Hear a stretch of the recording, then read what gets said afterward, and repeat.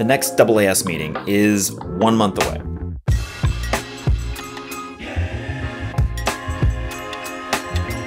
It's back here in Seattle. I'm so excited. I hope you all will come and we'll share some science.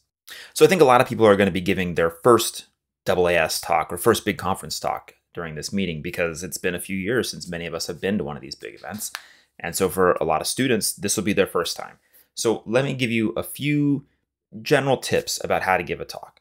Right. And the first thing to keep in mind is that this is a really short talk, right? Usually you have like a 10 minute window, which is seven minutes for a talk, two minutes for questions, one minute to change over the speakers. Seven minutes is not a long time for a talk and it goes by. The other thing to keep in mind is that for a lot of us, these talks are going to be happening on Wednesday or Thursday after several days of people just sitting in talks just like yours, and their brains are going to be turned into like mush.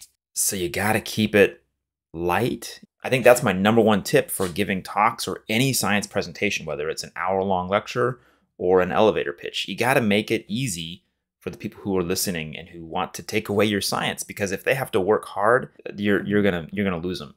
You got to make it easy for your audience to take away the meaning. So here are my four tips for making a good short talk. Number 1, skip the outline.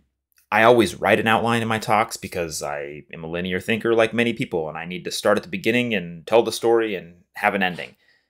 But it's a five to seven minute talk. There is no time to waste a slide saying, okay, here's the outline where we're going to go. There's going to be a beginning where I set things up and I introduce you to my topic, and then we'll talk about the methods and the data, and then we'll end with the conclusions, and I'll have time for questions. You just wasted 7% of your talk talking about your talk. Write an outline slide and then delete it. Number two, it's only seven minutes. Keep the talk tight. Keep it focused on one or two, maybe three big points. So you get time for a couple setup slides, a couple method slides, and a couple of points. Rule of thumb is usually one minute per slide.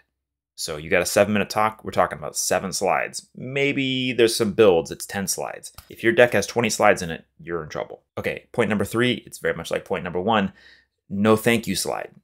Again, I often make these. I want to say thank you. I am grateful to my audience and to the organizers and to the conference and to the people listening. I'm, I'm thankful to you right now. Thank you.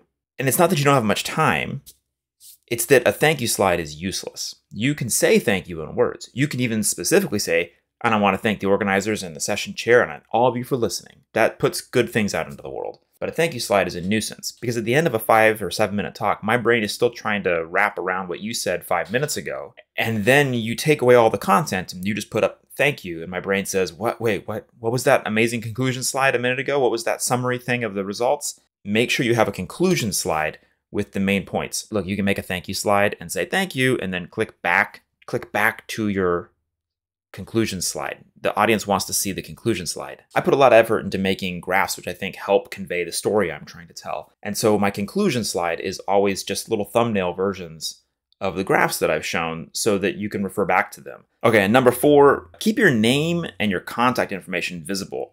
Definitely during your conclusion slide so people can remember what your name is. I know we're wearing big name tags, but I can't see your name tag when you're standing up there and I'm sitting back here in the audience. Put in the corner your name or your Twitter handle. I keep my GitHub and Twitter handle in the corner of all my slides so that if somebody took a picture of my slides, there would be a little watermark there so they would remember who I am. Okay, those are some fast tips when you're thinking about making your presentation for AAS or for any venue. Make it easy for your audience to take away the thing that you want them to remember, and make it easy for them to reach out to you and start off that science collaboration. Okay, back to more Zoom meetings. See you in AAS.